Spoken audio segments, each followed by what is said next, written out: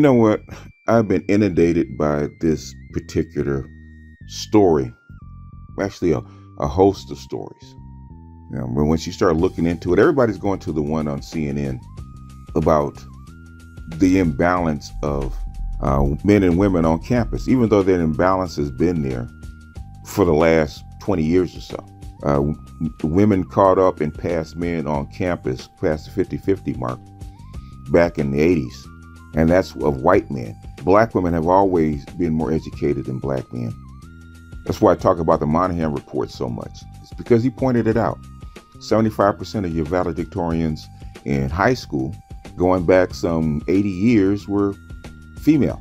Always have been female.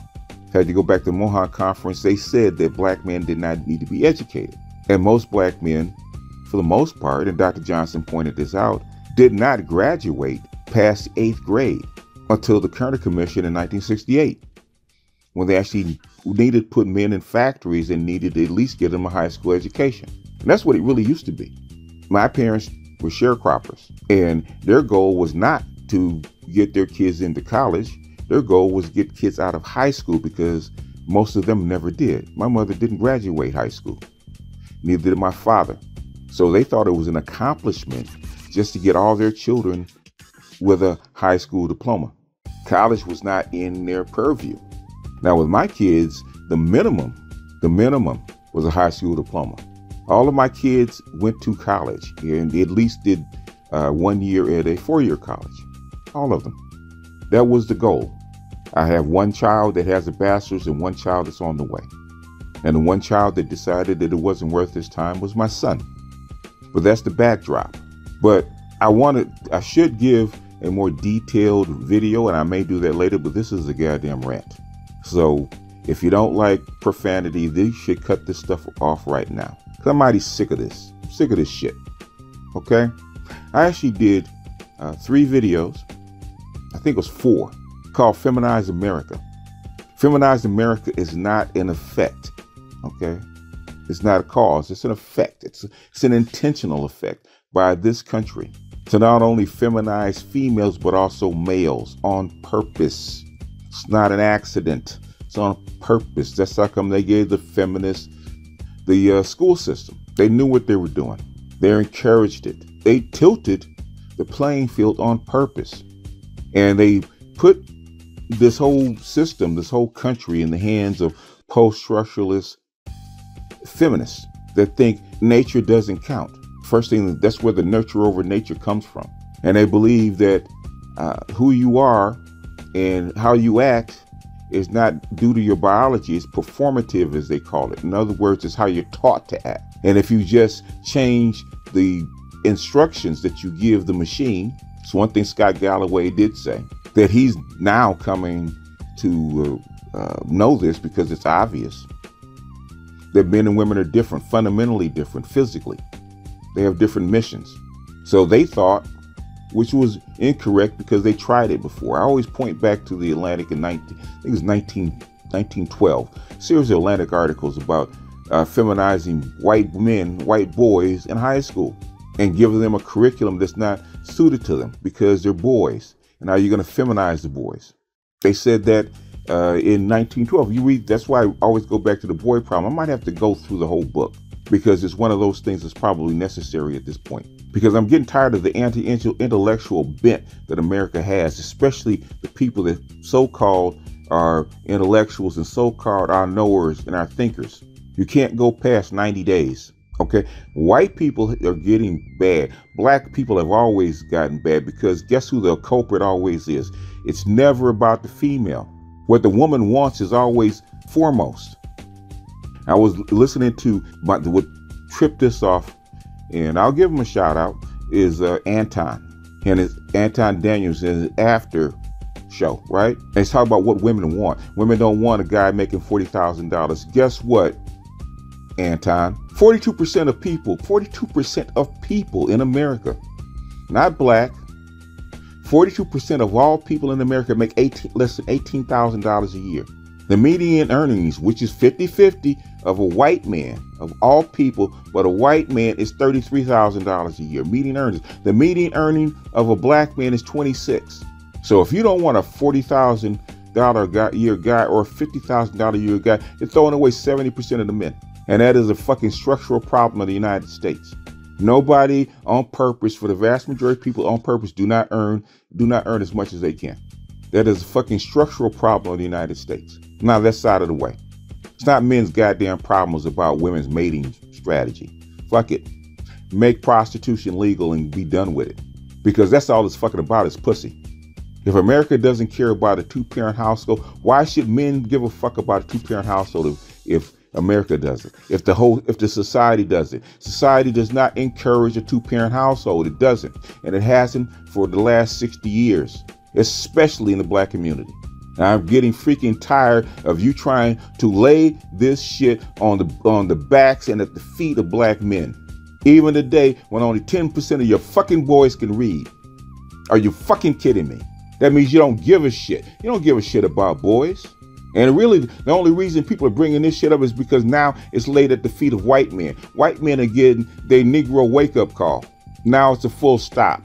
Your feminists talked about this damn near 10 years ago. Go back and read the, the End of Men. I did. Go back and read The Richer Sex. I did. Feminists talked about this. They were cheering because they finally reached equity in 2012, especially after the downturn when men they cheered men losing their freaking jobs because they gained a certain amount of power. But as long as it was equal and women weren't suffering, it was all good. And when white women weren't suffering, it was all good. Now white women have to face the same thing that black women have to face. White women wanted what black women have, which is a gynocracy. Now they're getting ready to get it, and they don't like it. They want it, but they don't like it. Same reason black women want it, but they don't like it. If you want to turn the, stuff on his which is something Moynihan said years ago. Moynihan said this back in 1965. He needed to give resources to the men because the men need to take care of their families and the men, men need to be heads of household because to him that was the natural order of things and to him that's the reason the black community had dysfunction is because the men weren't in their proper place according to this society according to the rest of the world basically because women naturally want what men to be head of household white women naturally want men to be ahead of them but the thing is, if you come up with this post structuralist feminist training, this nurture over nature, and you want everything, we want equity, which is not equality, which is equity. Equi- equality is equal accessibility, a level playing field. That's equality. And maybe the best person in each category win. That's equality, equality of opportunity. In fact, that's that's what was coming out of the uh, Kerner Commission. The original term was equal opportunity. The the EEOC, which was what what it was in vogue when I first started to go to college, it was just changing it over after the Bakke decision. Equal opportunity, EOC. They changed it to affirmative action because they didn't want black men to have a level playing field. They wanted to tilt the playing field toward not only white men, but also white women. Guess who took the majority of those positions that were supposed to be for your men? It's white women.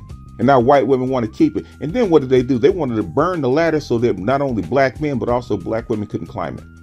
But they got drunk with power, just like black women did. They, they got used to wheeling a rolling pin.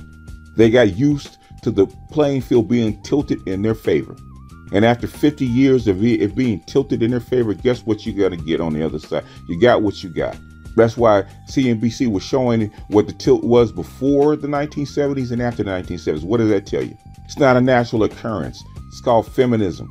It's called feminist policies backed by not just the women, by your government. This is intentional. Why? Because you thought it was going to work. Because you believe in nurture over nature. You thought that women were going to be happy with this.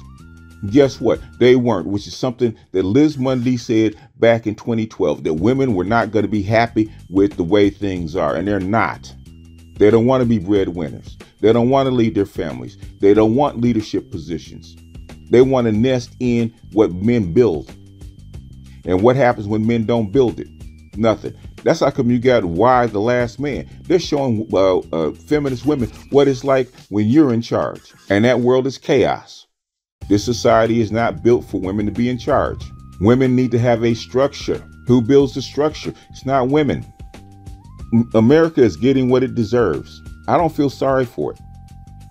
I don't feel sorry for the women. It's a mating crisis. Oh, but now we're going to put it on the men. Okay, if you don't do something about it, the men are going to get pissed off and they're going to uh, have a revolution. They talk about in history, men get pissed off because they're alone and they're broke, and they they'll uh, have a revolution. If that was the case, Japan would have had one. It's called the Lotus Eaters. If that was the case, China would have, be having one right now. They call it men, young men laying flat. The same phenomenon has already been going on. It's, the MGTOWs, whether you like them or not, MGTOWs have said that for years. MGTOWs have been trumpeting this, this, this cry for years. Itmores have been saying this for years. Black men have been saying this since the 70s. Eventually, it was going to happen. Took a couple generations for men to catch up. Now, what men are seeing, they don't see a value in participating in this society the way that you want them to, to participate. They don't see the value in a two parent household. They don't seek value in having uh, a family. That's like a 54% of your men don't have kids. 54% of your black men don't have kids and they're not going to get married. They don't see value in uh, a monogamous framework. They don't. It's only increasing. If you if you poll the millennials, if you poll the Z's, it's going to be 75%. If you truly believe in this structure of a, of a family unit, the United States and Western countries are not doing anything to actually enhance it. That's how come that stuff is spreading down Latin America like wildfire. It's also spreading to Africa. This is going to be a global phenomenon. And your so called experts on YouTube, your talking heads, let me get this clear to all you, to, to, I'm not going to call any names, but you know who you are. You don't know what the fuck you're talking about. And that's the goddamn problem. You don't know what the fuck you're talking about. And the people that do know are not saying anything. There's a reason they stopped the, the Mouse Utopia experiments because it was too accurate. Me and uh, the nameless protagonist did about a whole series of videos on this, talking about this, what we call the, uh, the demographic shift in the, I, th- I think it's the, the behavioral cliff, where you, you decline and your, the society starts to die off. And that would be fine if it was just limited to the United States the thing is, you now you have a global civilization and it's all happening at the same time. And instead of countering what you saw coming, you actually enhance it. Maybe that's the problem. Maybe that's what it is. Maybe maybe the Malthusians have gotten control of this society, of this civilization. They're actually pushing policies to have a natural decline, possibly. Because if that is if that is the case, it's working. Now, normally I would put up charts and pictures, stuff like I'm not doing it that today because this is a rant. If you're asking me for links today, go suck on a lemon and go hit YouTube, Google and do some research because I'm not putting links in here today. This is a emotional rant. Even though there's logic to it, it's an emotional rant. So if you ask me for a logical, detailed, academic, linked discussion, forget about it. So don't even put it in the comment section because you're not going to get it. Go do your homework. Stop being lazy. Getting tired of people asking me for links the last video I, I uh, a couple videos I did, I talked about the report of the National Institute of Health, talked about the black men and black women having uh, a disparate number of children between them. Even though a couple of months before, I put uh, actually did a whole video explaining it. And these are my followers. They're asking me for information. Go look. But anyway, this is a natural consequence. This is a natural consequence. Now, white women that can't find mates because we want we want a man with a college degree. And if you don't have a college degree, then we can't get together. Well, then go go be a concubine to the four guys. Because I heard Scott talking about the four guys on the mating app. They're attracted to four guys. Well, go be their concubine. Bro, you know if there's if there's 50 women after after four guys, then get in the rotation and shut up. Everybody's, oh, oh, you know, what they call concern trolling men. Oh, if we don't do anything about it and there's a mating crisis, then men are going to get pissed off and they're going to tear up society. So what? Let them tear it up. Shit don't work you're not willing to change it, let them tear it up. If women don't have mates, so what? I don't give a shit whether they have mates or not. That's not men's problem where women have mates. They built the system. They tilted the system. They pushed for the system to be tilted. Suck it up, cupcake, and read it and weep. Stand on your square. You want independence. You you want an unfair advantage. You got it. Now read it and weep. Either take care of the guy, get a poor guy, get a supportive guy, and take care of him, and shut the fuck up and sit down. Like Kevin says, get a dog and die. 50 years, uh, two and a half generations, you did nothing. You did nothing to develop these men. Nothing. In fact, you did the opposite. You did everything to retard these men. And now, two and a half generations later, you're crying because you have a 60 40 split. What'd you expect? Men aren't applying because they don't see value. Look, everybody's looking at this one article, like the Atlantic and CNN. They don't look at the Wall Street Journal. Wall Street Journal, at least, you know, that's one thing my advisor told me long time ago, back in the 90s, right? The reason you read the Wall Street Journal is because Wall Street Journal has the duty to tell the truth. Why? Because if they lie, people are not going to make money. People are going to lose money if they have wrong information. They have to at least balance it with some truth. Wall Street Journal told you why men do not want to participate in college. They told you because men don't see a value in participating in this system. They don't see a value is running through uh, this gauntlet for what? For debt? For the approval of some chick? You trying to convince guys they should run this gauntlet, jump over these hoops before some pussy. Really. And then you get mad when the guy said they're not going to do it. If every man in America wants to be a fucking bum, let him be a fucking bum and let the system fall. If you're not going to make it fair, you're not going to make it level, let the goddamn thing fall. Uh, you know, I'm an old man and I'm, I'm the first one that's going to get hit and get hurt. But at some point, you got to be ready to let let pull, you know, be like uh, Samson, get in the middle of the pillars and basically, okay, the shit's not working, shit's not fair. Let's go and pull the pillars and I'm willing to take the hit. I'm willing for the building to collapse on my head at this point. Let it fall. That's what I said about the black community. And I'm going to be frank in this one. They may have to pull this one down. If, if they pull this down, this is probably will be up on uh, on Patreon if they pull it down. Because they may pull it down. I'm sure it's going to get flagged. But if it gets flagged, it's going to be on Patreon. That's what I said about the black community. If black women are not fucking willing to invest in their men, and invest in making this goddamn thing equitable and doing the best for everybody, especially if they have a leadership position. Let the goddamn thing fall.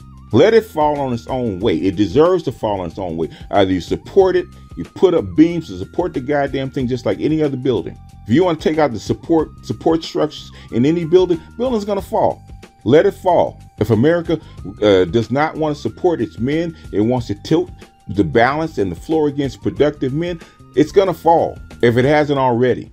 Because men are going to check out. Men are basically this is what they're afraid of. They weren't they weren't they weren't against uh, the red pill men because they're inaccurate. They weren't against red pill men because they because they thought red pill men hated women. They were against this stuff catching on and this stuff catching on and, and men waking up and realize that the goddamn game is rigged. It's one thing about men and, and, and logical men especially, they believe in a fair game. They don't care. Okay, if the men count winners and losers. If the game is fair, men will accept the loss. If a dude is a one, he knows he's a one, and he knows that he can't get a date, he'll sit on his hands, he'll accept that loss. Women do not. Women want a cookie. But if the game is fair, that's all men want. Game is fair, men will accept that loss. And for for 60 years, men accepted that the tilt and playing an unfair rigged game for 50 years. But that day is over. That's what the red pill community is about. And basically, the red pill has gone mainstream, whether you like it or not. Red pill has gone mainstream, and men, all men, white, black, and whatever, do not want to deal in a rigged game. College and education is a rigged game, and everybody knows it. But everybody uh, pushes past it, they overlook it. Well, you ain't gonna get no pussy if you don't have a college degree. If you ain't gonna get no pussy, you don't earn over forty thousand dollars a year. Well, you ain't gonna. The world is a zero sum game. It's a zero sum game on purpose. Capitalism is a rigged game so that you have winners and losers. The, for for capitalists to succeed, the majority of people have to be losers. They have to be within that system. For America to exist, uh, there's a whole lot of countries that have to lose. It is what it is. The thing is, we need to be open, honest, and frank about what it is that we do and the system that we live in. For there to be hundred thousand dollars a guy, got to be a whole lot of people making less than thirty. Got to be. That's why people making hundred thousand dollars over are less than ten percent because there has to be ninety percent of the people that make less than that. If there wasn't, then they then there would there would have to be a balance. Then everybody would make fifty, which is against capitalism, which people don't agree with. It's not a balanced system. It's a rigged system on purpose 70% of your people make less than $50,000 a year. That's on per- that's by design. I don't care if you listen to prosperity pimps, and I got no problem against prosperity gospel people, right? Prosperity uh, uh, business people, because there are people that can take advantage of prosperity. But the thing is, is that at the end of the day, the system is not designed for everybody to make hundred thousand dollars a year. It's not. Never will be. Hasn't been in human history. And the reason that you can kind of do it a little bit now is because you have a wide, you have a global market. What happens when that market catches up as it's doing now? What happens when when when the uh, United States goes off the dollar, or not United, but the world goes off the United States dollar? What's going to happen then? Oops. But I got a whole lot of people sending me this shit, man. Sending me this stuff about men not attending college, and it's going to be a mating crisis. Fuck a mating crisis. I'm like Kevin, get a dog and die leave us alone. You not having a man is not our problem. Choose from the men that are there or go get a dog and die. Men don't sit at a restaurant. Men are not killing themselves so that, that you'll pick them. If you don't, you don't. For the vast majority of history, men, if you didn't get a woman, you didn't get a woman. Men learn how to arrange themselves.